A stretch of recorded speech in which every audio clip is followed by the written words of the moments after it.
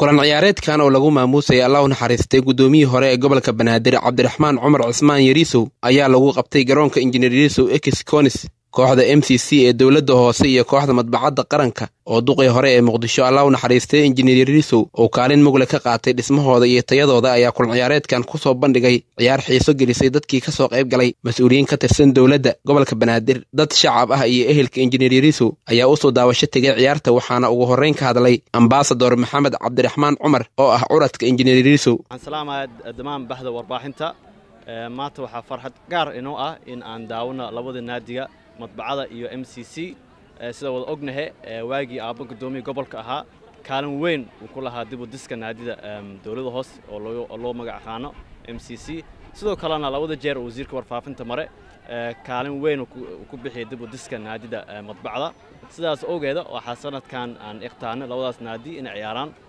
Waxaan u mahadnaqayaa unu ammaanaya guddoomiye xiriirka kubadda cagta guddoomiye cali shiino oo go'aamiyey in sannadkii ku xigto la ballaariyo oo laga diga afar kooxood oo ciyaari doona insha allah oo sanad walba laga diga indana yiriso cup waxaa hadafkeena koowaad labaad iyo saddexaad waxay tahay in aan ummadda la wadaagno aaba mudamin ay ugu duuntay. Guddoomiyaha kubadda cagta soomaaliyeed cali cabdi maxamed cali shiino ayaa sheegay in sanadka dambe la kordhin doono ciyaarta isagoo xusay in la gaarsiin doono ilaa afar ciyaarood si loo weyneeyo maamuuska injineer yariisow walaalkan injineerkii hore alla u naxariisto duqii hore wakhti badan ayuu geliyey kubadda cagta soomaaliya. Aad aana uga abaalhaynaa waxaa kaloon rabaa inaan halkan aan ku caddayno in sanadaha soo socda haddii ilaah yidhahdo ay joogto noqon doonto kowda ogos inaana wax ka bedeli doonno ka dhigi doonno ilaa afar ciyaarood sanadka dambe haddii ilahina gaarsiiyo kabacdina fayna la ciyaari doono.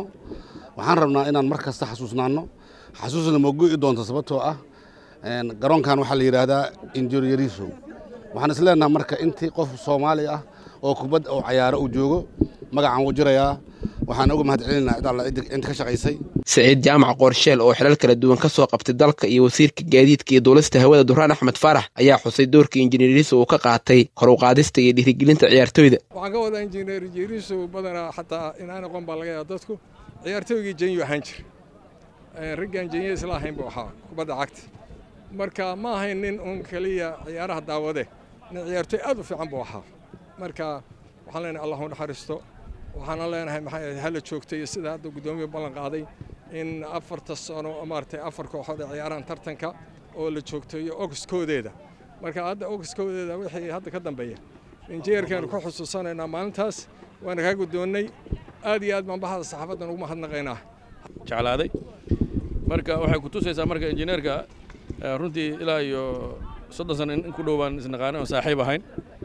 Nin akhyaara oo afgaaban oo ummaddu ammaan ka helayso oo dadka wada caawiya hadduu ama dibad ha jooga ama waddanka gudihiiska ha joogee shaqooyinka ummadda soomaaliyeed meel kasta ay joogaan buu mar kasta garab taagnaa. Isagana waxaan leenahay haddii ilaahay yidhahdo ilaahay ha u naxariisto qabrigiisa ha u waasiciyo. Annagana ilaahay gadaashiisa nama fidneeyo. Maxamed iyo familka intiisa kalena waxaan rajaynaynaa haddii ilaahay yidhaahdo ummadda wanaaggii iyo wuxuu u hayay inay meeshiin laga sii wado oo uusan istaagin. Kulan ciyaareedkan oo sanadkiiba mar la qabto ayaa ku soo dhammaaday saddex iyo labo waxayna guusha ku raacday kooxda madbacadda qaranka said cumar sheekh ismaaciil warbaahinta qaranka muqdisho